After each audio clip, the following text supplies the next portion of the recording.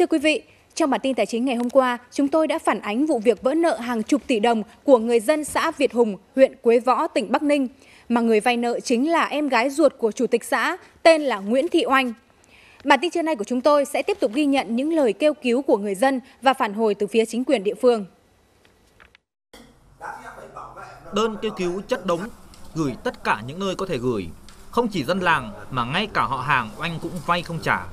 Ông Hoàng, chú họ của anh cũng bị oanh quỵt nợ tới 680 triệu đồng. Tôi đã từng đi kêu cầu các nơi từ tỉnh ở xã xong đến huyện tỉnh ra cả trung ương thế nhưng mà không nhận được một cái sự hỗ trợ nào.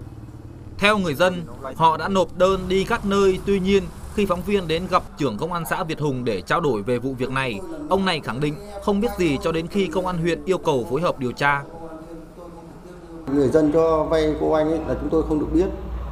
Đến khi là công an cấp trên về làm việc thì chúng tôi mới biết là vay cỡ vay là trên chục triệu, à trên chục tỷ. Hiện tại bây giờ cô anh đang ở đâu Hiện tại cô ấy đi đâu chúng tôi không không nắm được.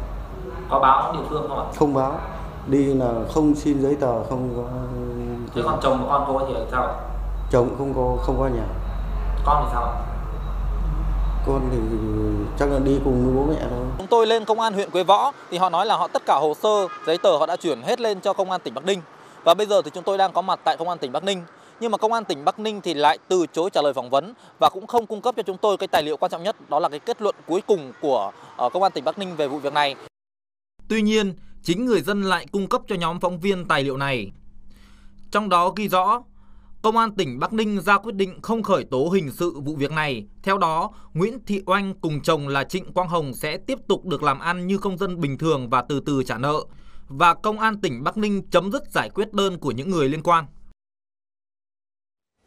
Đây không phải vụ việc duy nhất người dân nông thôn bị vỡ nợ bởi những giao dịch không được sự chứng nhận của nhà nước. Người dân thì thường nhẹ dạ, tin vào những lời dụ dỗ rồi bị mất hết tài sản. Còn con nợ thì vẫn ung dung ngoài vòng pháp luật. Vậy các luật sư nói gì về vấn đề này?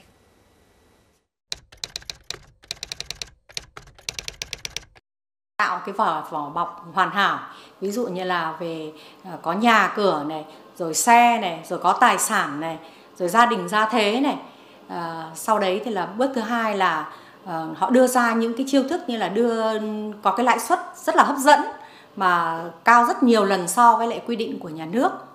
Thế sau khi đã có hai hai sau, sau tiếp theo nữa thì là đối tượng sẽ tiến hành là uh, đi đến vay của từng người một cách lén lút mà những cái người cho vay này thì không người nào biết người nào cả. Nếu như trong giấy và đây là giấy vay tiền và lại có ghi lãi suất thì đấy là chắc chắn là là quan hệ dân sự nhưng mà nếu, nếu là giấy nhận tiền và cũng không ghi rõ thời hạn trả nợ cũng ghi lãi suất rồi thì có thể là có cơ quan điều tra có thể xem xét khởi tố về tội lạm dụng tín nhiệm chiếm đoạt tài sản